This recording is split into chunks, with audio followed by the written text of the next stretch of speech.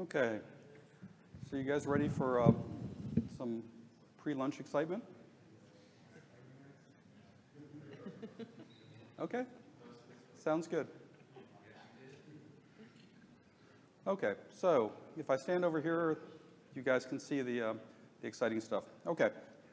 Now, what I wanted to talk a little bit about today was Notify support. Um, you know, I'm not expert in this, but I think as you guys know, there has been, um, over the last three years, some changes, some improvements. But a long time ago, there's some fun history about Notify.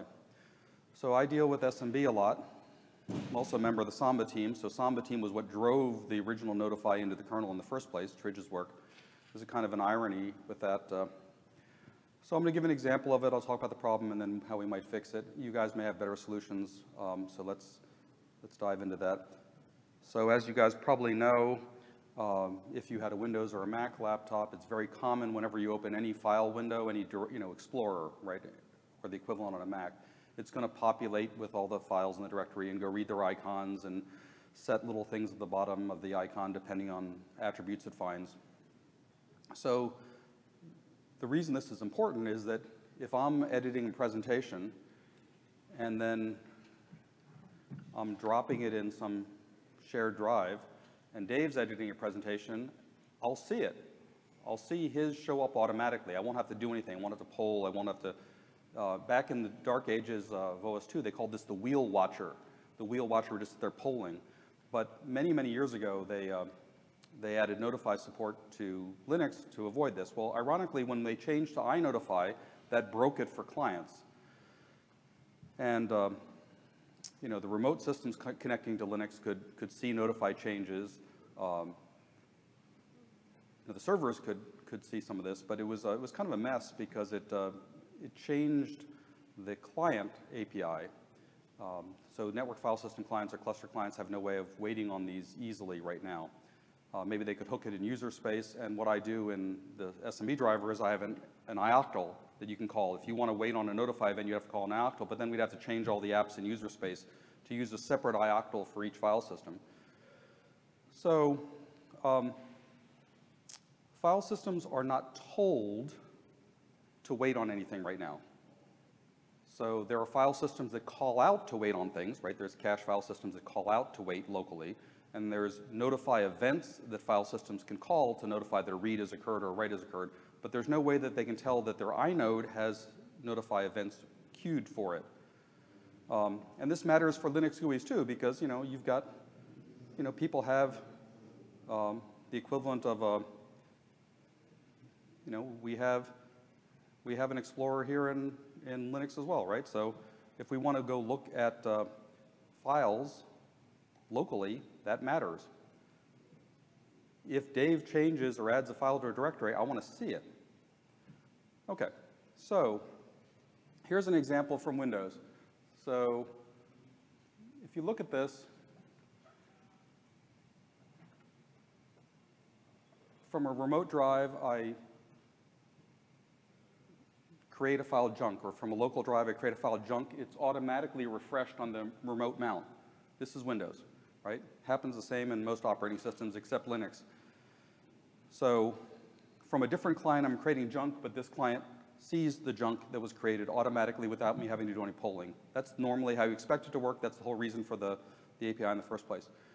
But iNotify doesn't call into the FS. So if you look at this function here, this is um, update existing watch. You can see how update existing watch works here. Um, it calls into um, find mark, container of, sets the mask, but it, there's no call out to tell Ceph or to tell AFS or to tell SMB. Um, I don't remember, does NFS have a equivalent? I guess you could have a direct release delegation, right? Does NFS have a notify async? The protocol has it, but it's not implemented in Linux. Yeah. I mean, it's super common thing you see in other OS, and you know, there's no point in, in doing it for Linux for NFS unless you actually had an API that could call into the NFS driver. But you know, from the SMB perspective, it's not, uh, it's very commonly used. There's also an FA notify, and I don't want to dive in too much to FA notify, but these file system events are also interesting. Um, and a little bit confusing to me. Um, there's these bit marks that you wait on, but uh, FA notify and I notify are in the same directory tree, and you guys can look at that. Whether FA notify is as useful, I don't really know because I don't know how many. One thing I couldn't find trivially last night, and you guys might know, is how many apps actually use FA notify. Obviously, there's some very important ones that use iNotify.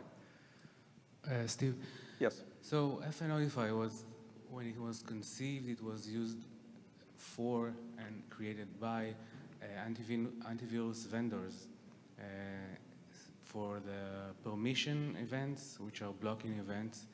But since then, there's been a lot of work to add more functionality to FA Notify. And it's relevantly recent, so it started uh, coming in with 5.1 and more functionality later. So uh, in 5.10, there's FA Notify is almost um it's almost a superset of iNotify, right?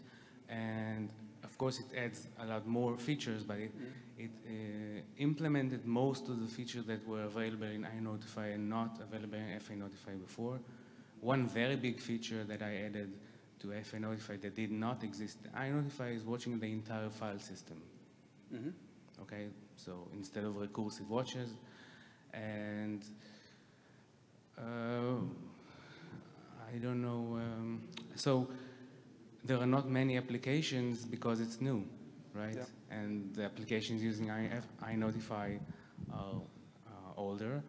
Uh, what I did do is uh, I went and implemented for the library iNotify uh, tools, uh, which is where the iNotify wait and iNotify watch uh, utilities are.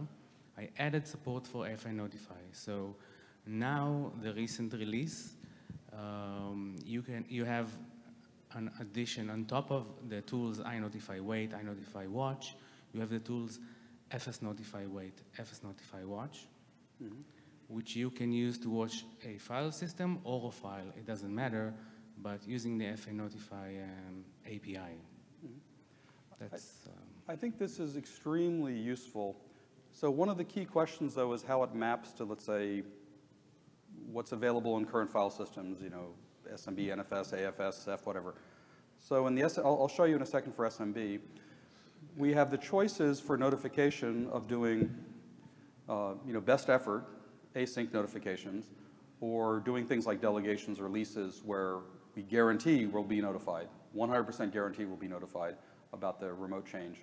Um, And, um, you know, obviously, we, I think NFS uses it more than SMB right now, but we use it on the root directory, and it's being, um, I just had some patches for 519 to extend it more. But those, you know, we can wait on any event relating to a directory or a tree. Um, What this originally, what iNotify was originally designed for was to support async, uh, the best effort, it's called um, change notify um, over the wire. And um, that's an async thing, not a, it doesn't, it doesn't sit there and wait for the client to respond. So there are additional, one thing I'm curious about is here's the iNotify flags in the Linux headers. And, you know, things, events like a subfile is created or you've, uh, you've modified a file or you've accessed a file, or deleted a file. Those are the most common events, I would think. And are there other events that, you know, other than a file being accessed, modified, deleted, created, that FA notify requires beyond these here? requ- what do you mean by requires? Well, what I mean is that, I'll, I'll give you an example. In, in SMB, I believe there is a notify event on an alternate data stream or an XADDR being created. Okay, great. I don't know if NFS could support that or AFS could support that, but there is an option to wait on other things than, I want to wait on this directory to see if a file's created, great. But do you want to wait on this directory for something that the, the file system can't support? There may be thing, there may be flags that you can pass in that can't be supported. And I don't remember exactly how the mask might be set up so a file system could say, well, I can tell you if a file's created or deleted, but I can't tell you if a file's accessed. So are you asking about FA Notify? FA Well- Notify has a very similar uh, Okay, uh, Okay. set of uh, masks. It has some uh, additional uh, events for execute uh, and stuff like that. But um, I mean, if there's something miss missing, we can think about Yeah. adding it. But uh, So he- here, here's what it, what it is in the Linux iNotify headers. I'll- I don't have the, uh, the NFS RFC pulled up to look at what NFS has uh, or A- AFS, but those, you know, are probably a subset of SMB. For SMB, these are the things you can filter for, or these, or what can be watched for. You can look for changing particular timestamps. Look for changing the file name, deleting, creating, writing, right? So these are the kinds of things uh, that, uh, so I don't know, I mean, these map pretty well, I think. Yeah, look, if uh, I, I don't know if applications, uh, you need to argue if there are applications that need to know specifically about the change of extended attribute. Yeah, but we don't have to use that. You don't, you don't have to. No, no, you yeah, don't yeah. have to. Yeah. It's okay. It's okay if. Uh, But changing the ACL, changing the rich ACL or changing the POSIX ACL, change security might, right? Maybe if you can show that there's interest, but then only CIFS will support this event. So I mean, you could, you could have the POSIX yeah, local true. API, the POSIX ACL API supported Yeah. locally. Yeah, And that's I- also true. personally, I would think that I would want to be notified if somebody changed permissions underneath me without permission, right? So I got this, you know, here's a Ubuntu box here, right? And if somebody's, I might have an event that I'm looking to see if somebody's changing ACLs under me, I don't know.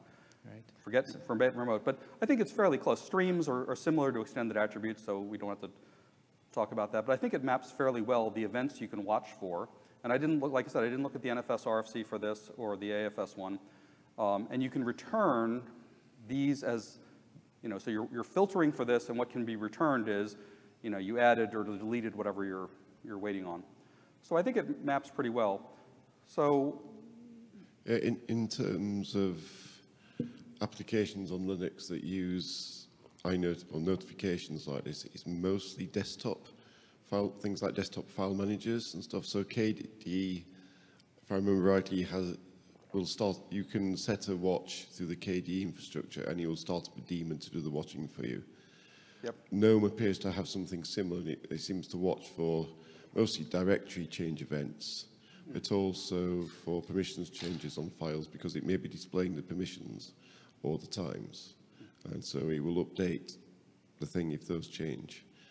And if notifications aren't available, I think it polls in the Oh, background. it's not that the notification are not available. It's just they're not granular. You get a notification for attribute change.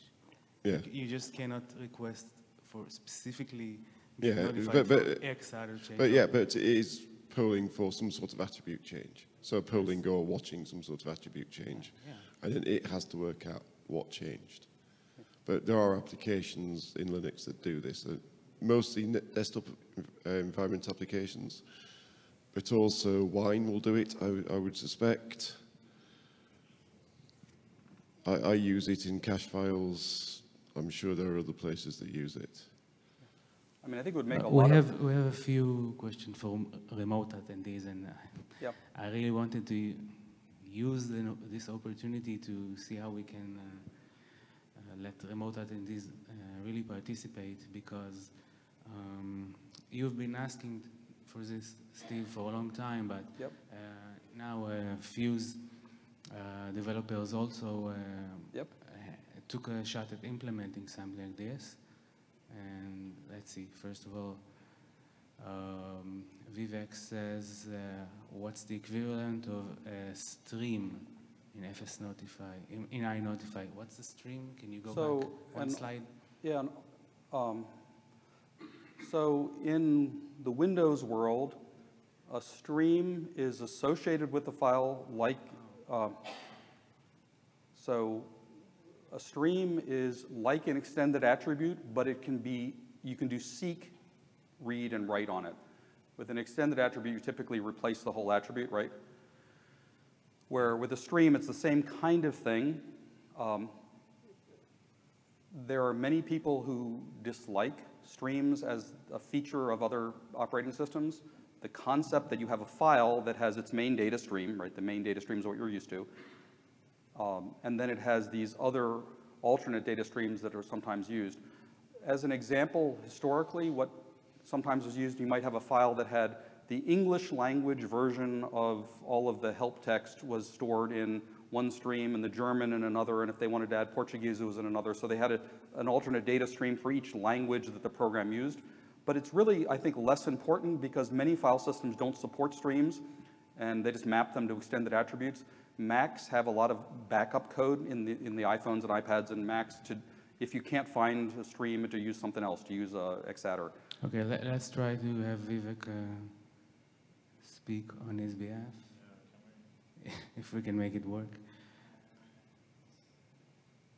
By the way, we did have some patches three years ago or four years ago from one of the guys, uh, maybe somebody at, at, at uh, Yeah, Miklos uh, sent yeah. some uh, um, POC, uh, but yeah, Yeah. uh, it's not simple. So let me, before Joseph is trying to uh, uh, invite Vivek to speak on his own behalf, but uh, what I can say is that there is an implementation, uh, initial implementation by Ioannis uh, that had uh, iNotify, specific iNotify uh, API uh, added to Fuse protocol.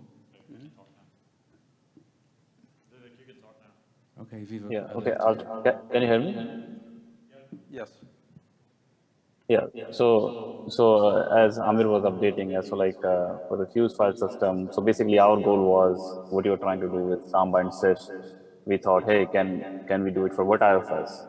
And uh, that's where like I started playing with it and did the initial implementation. And uh, because iNotify is simpler, FNotify, the semantics are like uh, much more rich, so a little harder to understand. So we started with something like, let's just try to do a remote iNotify and uh, just posted one version of patches. So what we did is basically, because in our case, uh, uh, uh, so basically what we were doing is that whatever watches you put on the local inodes, we forward it to the remote inode. And uh, so the virtiofs just puts the same, uses iNotify, iNotify and watches for the events. And the moment the events happen, it forwards it back to the client and then client uh, sends it back to the user space. So, and uh, after that, the one feedback we got from Amir is, hey, this is like uh, underlying is the FS Notify infrastructure, which is common and being used both by iNotify and FNotify. So what you have implemented is like uh, you are using that this common FS Notify infrastructure. So try to make it more generic. Call, let's call it remote FS Notify so that you can support both iNotify and FNotify. So that's what Ioannis is trying to do now, like extend it to even support FNotify. But because FNotify is so rich in terms of semantics, we are running into a lot of issues. Uh, for example, uh, like of course, uh, like uh, Amir said, like there are many things you cannot support. For example, the permission things we cannot support. Uh, FNotify has something where it opens a file descriptor by default. Then uh, for on the for the file on which the event happened, then we, we realize that uh, it requires a path information, and all we are sending from the remote is the inode information. Uh, and uh, so like we don't have the path and then probably can't open the file descriptor. So, so maybe I'm going into too much into details because Ioannis is still uh, struggling with it and he was seeing many more events. So just taking a step back, like uh, I I guess that's what you're also looking for, like irrespective of implementation detail. Uh, maybe uh, like uh, I'm assuming that you are also looking at that. Hey, let's look, let's try to implement this iNotify and FNotify for remote file systems and see how many of the events can be mapped, uh, like uh, whatever the protocol is supporting, whatever can be mapped, we'll map and maybe reject the rest of the events which we can't map or don't support. That makes sense. I think it's very important to understand at a high level what Fuse might want to allow, what NFS might want to allow, what AFS, what SMB. Um, you know, can it work on files? Or does it only work on directories? Um, because the alternative is really painful. The alternative is that we're polling. And I, I was thinking about Dave's comment about FS cache. FS cache matters over every file system practically, right? I mean, there's a lot of cases where FS cache would matter over Fuse. There's a lot of cases over NFS or SMB. And maybe this is a better way for FS Cache. Um, you know, it can tie in with delegations and leases, sure, that's great, but, but there's cases where FS Cache could benefit from this as well. Um, because right now, Yeah, sorry, uh, Jan wanted to say something, so. Yeah, yeah, sure. Uh, so, hi. Uh, so my point was giving you like a hook into the file system when uh, uh, when when a watch like uh, notify watch is added is is the simple part. Yeah, we can do that, and I can even imagine like the file system will in the hook have the right to say, you know, I don't support this, so we will propagate the error back to user space, basically. The somewhat difficult part is more on the, so, so when some, even like when the file system actually detects events, and this is going to be different for different file systems. Yeah, so for Samba, you have it mostly solved because the protocol already has the support for the remote notification, essentially. Uh, Vivek is struggling with this for Virt.io FS because there they have to actually develop the protocol to generate these notification on the file system side. So, so that's that's actually a separate set of problems, let's say. But if we now speak about the interface between the file system and the FS notify layer, like telling the file system there is a watch added is the simple thing. But what's more complex is so you have the event on the file system side, and now you want to feed it back into FS Notify so that user can read it from the like FS Notify descriptor essentially. Yeah, we have like either I notify descriptor or FA notify descriptor, but it's in principle the same thing. Uh, so because there, as Vivek said, you know, there are some expectations from user space about the information that inside the event. And, you know, we have to make sure that the file system can actually provide this information. So for iNotify, it's relatively simple because it's going to be the inode number and the file name essentially. And I hope that most file systems will be able to look up the inode for which the event happened so that and so that we can give it back to user space essentially like we So- don't or actually it's not inode it's the watch descriptor for inotify but anyway oh sorry On that question, I looked at, I grepped for FS Notify notifications, the ones that locally are passed up to the application, and look like on open, it calls with the file, you know, FS Notify open, on read, you get FS Notify access or modify. So, you know, grepping for this, it looks like there's already things, and they mostly just require the file descriptor, mostly, or the file struct, whatever the, so in many cases, descriptor is definitely enough you know. If you have file descriptor you have mo- more than enough you know. For Yeah. this file descriptor you have basically everything even for fa notify. Like if you have file descriptor then that's enough for fa notify in all the cases as well. Yeah but but it it for like at a high sometimes you have only yeah sometimes the problem is you have only the inode yeah and then then things start to get difficult or maybe you even don't have the inode Right, then- that's, then- that's the problem we have. Like at least in our implementation, all we have is inode. No file Yeah. descriptors, no path information, no mount information, nothing. I mean, I have a similar exactly. problem, right? I'll, I'll have a similar problem because it's a directory event, right? And in some cases, I won't have an open file for it. Um, so there are going to be similar problems in, in, uh, in SMB, right? Because you're going to get a directory notification about a file being modified, right? So you may know, um, so I was trying to look at these FS notify, um, if you look at like remove dir, that's, we get a dentry, flags, I mean, they're mostly, I guess they're mostly inode, but not all. I, I gave you some examples of file. Um, ioctl notifies uh, for access and modifier files, but most of these are dentries or inodes. So we definitely need Dentry so that we basically Dentry is a way to propagate the name into FS Notify, yeah, so that it can get reported. Uh, so so Dentry is needed, but also the mount information is needed for FA Notify, for example, because uh, like like we don't have to support this, yeah, at least initially, but for the uh, for us to be able to support full set of FA Notify features, you would have to also like tell the mount point. But I'm perfectly fine with just telling, you know, file system returning basically not supported for, for, you know, if the user attempts to use, say, the mount point watches or even the file system watches. You know, if, if yeah, we are yeah. going, Uh, Sorry, Jan, we, we cannot support mount filtering for remote changes anyway, because the change is remote, it's not from a local mount. Yep, yep, that's true.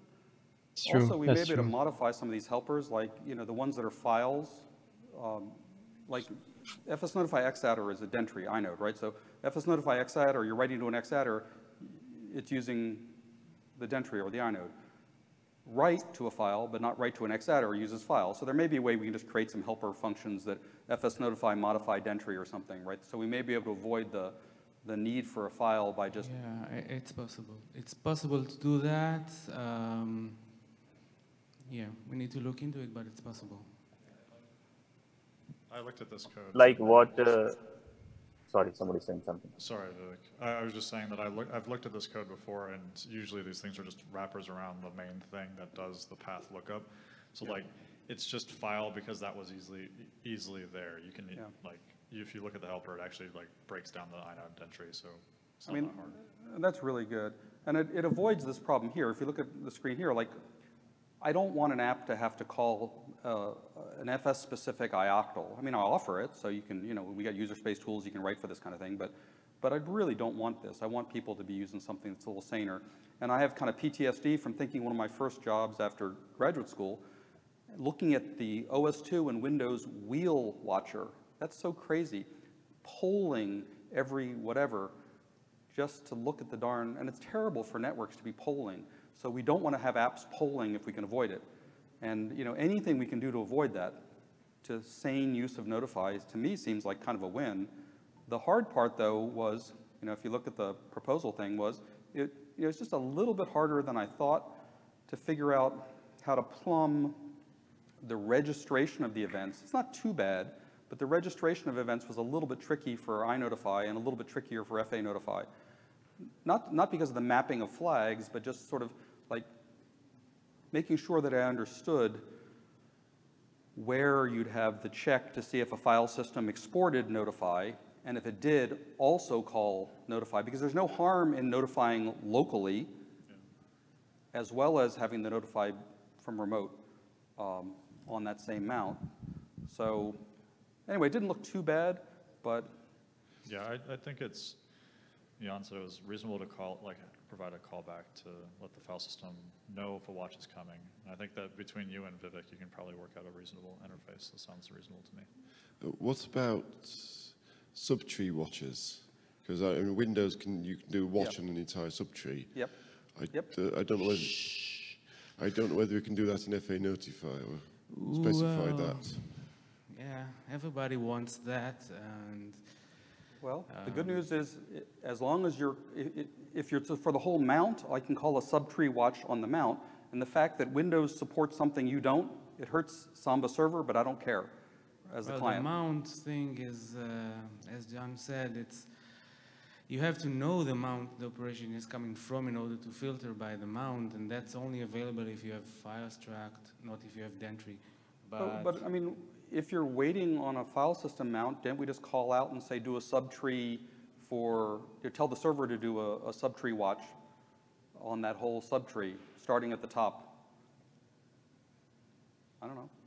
Well, uh, several approaches have been attempted, uh, several patch sets have been posted. Um, yeah, it's, Yeah, and I it's think, the- not trivial. and I think the other thing to remember is that this is an asynchronous, non-perfect mechanism using change notify, but NFS and, you know, SMB and every protocol also supports a strict approach where you'd have uh, delegations, leases. It's usually not worth the cost to have all those, but it is an option as well to implement it underneath in other file systems. But um, I think letting the file system decide on that is fine, but you'd have to just check to make sure the file system supports this operation, and if not, just fall through the current code and not do anything different. There's no changes. But I think one of the things I want to mention, because we're all running low on time, is that what bothered me was when I went into XFS test, especially after the discussions that Ted and you guys were all having, Lua, all these guys, like, do you see any tests? What? What? What? No, I didn't was put- trying- I was uh, watching the chat. What? I, I couldn't find any oh, XFS the tests. tests. The tests are not an XFS test. Okay. an I mean, Yes, yes, yes. Okay. We maintain our tests in LTP. Yeah, yeah. So it's great, just something we need to make sure that we're aware of because we want to make sure we don't break obvious things. Yes, when we add tests for every new feature, and we have test coverage for bugs that we fix. You know, there may be cases, and we can talk about this in the afternoon, is like where we may refer an XFS test or the XFS test wiki to other test suites, but, uh, you know, at a high level, I was like, well, how do I try this? Let me run a test case and show it. And then I'm like, oh, shoot, I can't find a test case. And I could have run, you know, a sample program myself, but I was being lazy. Um, But I do think that, uh, that testing um, the iNotify and FA Notify, especially as it evolves, is going to be important um, because there are, there are apps that depend on this other than just Explorer, I mean, the the GUI, the desktop. Yeah, I, I think this is a historical artifact uh, from the point of, at a certain point in time, those folks who were most interested in uh, XFS tests, which tended to be the core file system developers, were using XFS tests. Um, people who, uh, if you actually look at dnotify and iNotify, it's in the core VFS and the people who were doing that work, uh, or maybe it was the LTP folks. Anyway, the tests are in LTP. Um, and I think I've never worried about the fact that there's no iNotify or FA Notify tests and XFS tests because I don't worry about iNotify and dnotify. They are totally implemented in the VFS. Now, that was a point in time. There may be a point where if there are, you know, network remote file systems that need to do special things to implement FA notify and dnotify, we should put tests in XFS tests.